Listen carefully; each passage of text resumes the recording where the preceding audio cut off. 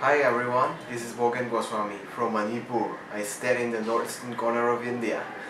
Asian College of Teacher is an exclusive institute where I pursue my teacher course. And here, things are found endowed with lot of excitements, joyous moments and innovative teaching styles. And I got metamorphosed from being a student to a teacher. Thank you.